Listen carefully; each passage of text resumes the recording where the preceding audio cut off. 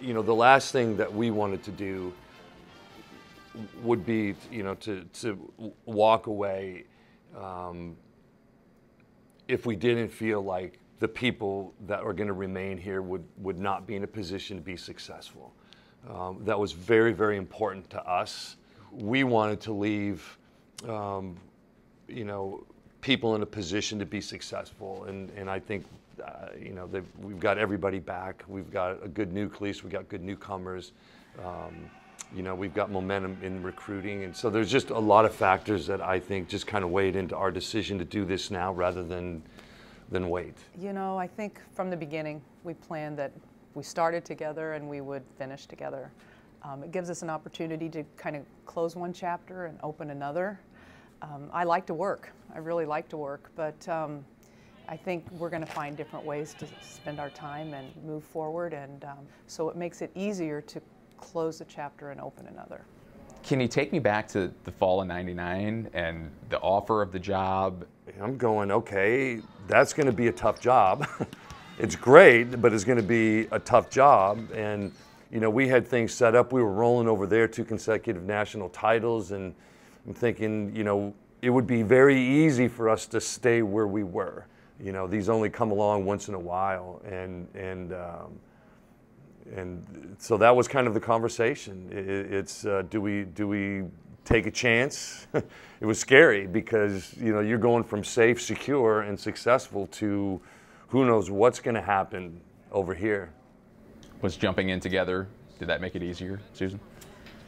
I think so. I think because we kind of have a routine with the way we do things, we felt like if we were going to do it, we would go together um, and tackle it quite honestly, but it was it was scary. Susan, how do you describe the the dynamic that you two have developed in leading programs over the course of your careers?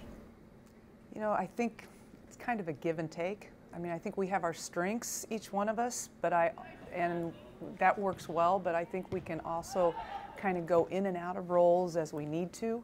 In that regard, we were really lucky. Um, and and I think in order to make this work, you do have to, you know, sometimes, I mean, you got to have some thick skin. I think one of the things that we were always able to do, which was very helpful, is we were always able to, to put the welfare of the kids that we had in our charge above everything else. You've mentioned leaving the program, you know, in a good spot, loaded roster. You're leaving it in, in good hands as well. And, and what are your what are your thoughts on on uh, Josh and, and Molly taking over. I'm happy that they're going to get an opportunity to do this. They obviously have the, the, the volleyball sport knowledge. There's, you know, that's a no-brainer. Uh, but I think what separates them from a lot of other people we've run into, I think they're just they're caring about you know character and principle and integrity and honesty and taking care of the players and and treating them well, I think, is what is what uh, is going to take them a long way. Any free advice for them on how to work with your spouse? That's something they got to figure out on their own.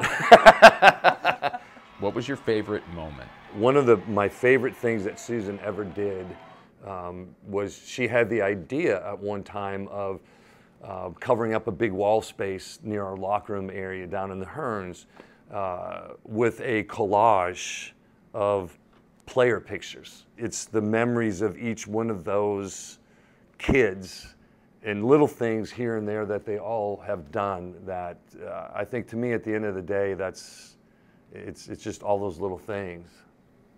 It is and that wall that wall helps bring it back. You look at that and every person on that wall brings four or five stories and four or five memories. And, um, and the same thing with our current players. You start thinking about recruiting them and, and the visits and bringing them in and the relationships that you develop with these kids. And, you know, I don't know if you could pick one or another this is it moment. And for each of you, how special is Mizzou and, and how special has, has your, your run here been to you?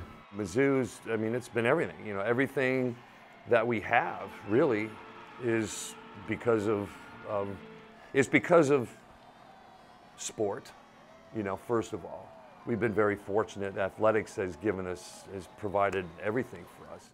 Um, in Mizzou for the last 20 years, I mean, you know, our, our family, our, our, our, where we live, you know, our community, it's, it's, it's way more than, like I said, it, this has been way more than just a job. It, it's been, you know, you, the family cliche thing anymore is almost, but but honestly, it's it's you become a part of that. It's it's a part of who you are, um, and so in that regard, it's it's been way more than just a job.